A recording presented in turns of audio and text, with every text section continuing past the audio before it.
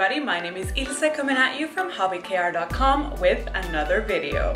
Today I'll be taking you with me to the Korean premiere of the Aobuta movie or Senpai does not know what Rascal does not dream of bunny girl senpai. I don't know if it's like the premiere or if it's the only screening that there's gonna be in Korea.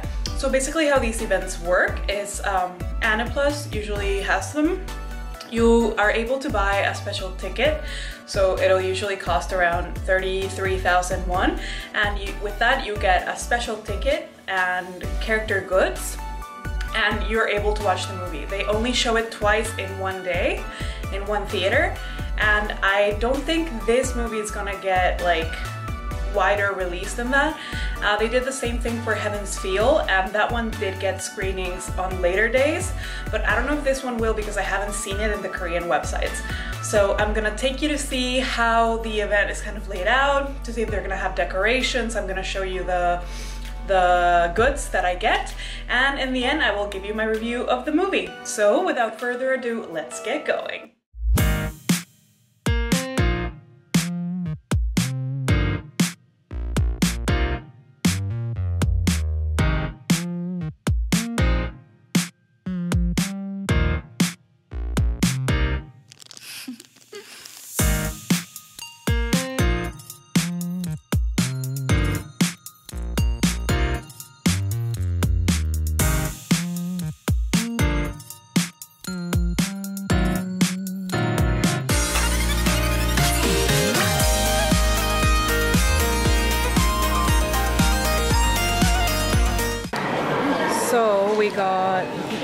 Wristband to go in.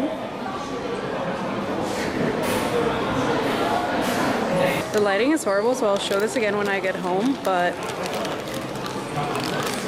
we have two enamel pins. So this is mine.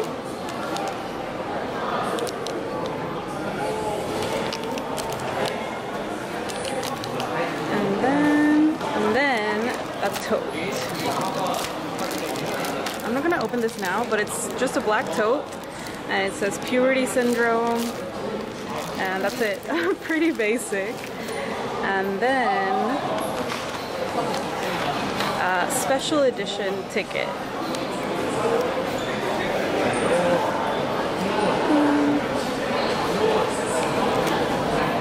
Pretty cute.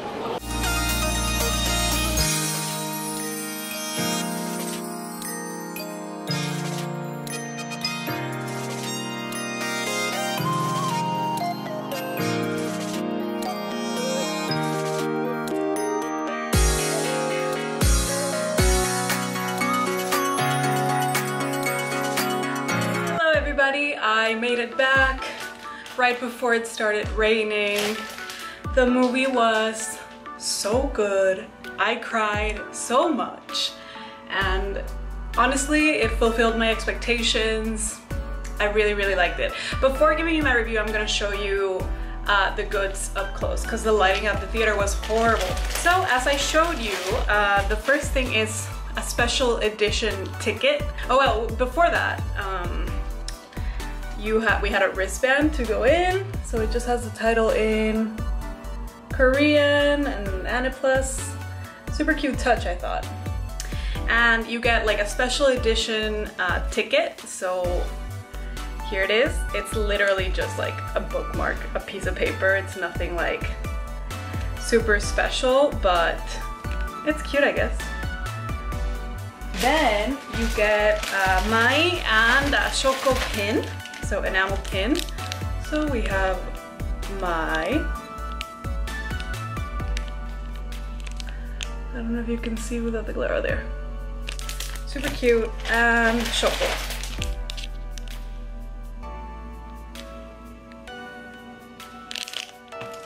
And finally, you get a tote. The tote is cute, I guess. I think it's a little bit plain. I would have preferred something that had like Mai on it or Sakuta on it or like something more, but it just says pu puberty syndrome and the definition of puberty syndrome. I do like that it's black though because I'm definitely gonna wear it. I think it's useful. And I do like that it has like a little clasp and it has a pocket inside, I think. That's it. Never mind. No pocket.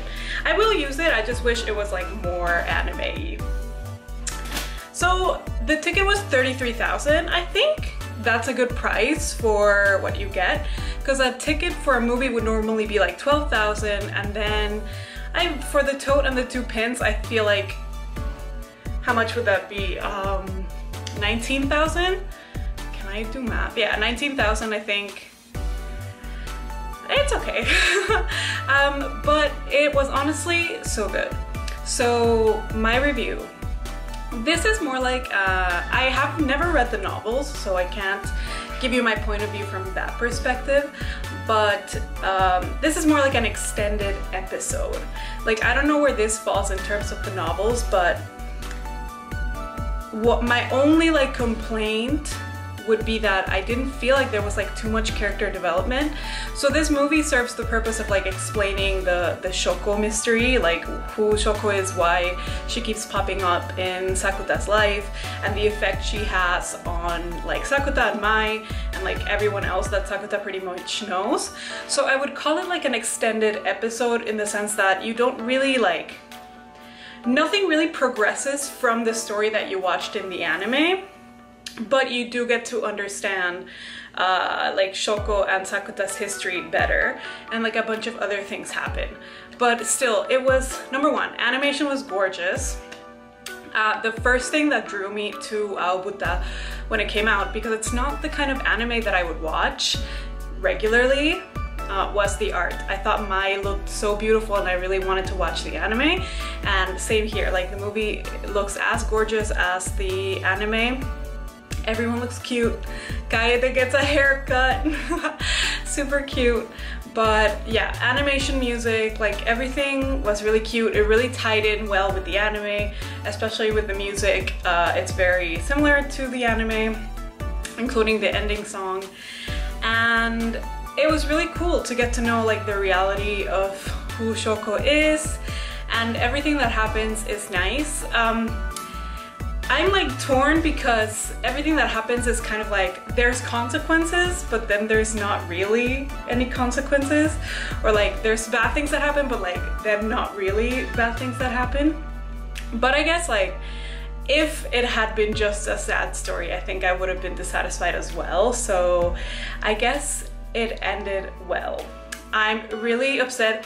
Spoiler we don't get to see a friggin' Sakuta and Mai kiss again, upsetting.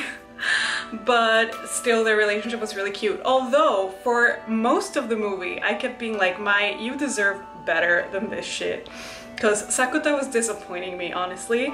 And I thought this a lot in the anime too. I was like super torn between thinking that Sakuta was a really good guy, but also thinking that Mai could do so much better because I love Mai. She's one of my favorite like female characters in anime. So I was torn as well. But in the end, I think all the characters had like good parts to play. Not enough Futaba in my opinion, but she serves her purpose in the movie-ish. And um, she looks gorgeous, as always. So if you are able to watch the movie, be it in the theater or not, I really recommend it, especially if you liked the season of Aobuta. And that is all I have to say. I had such a good time. I was really glad that I could experience this.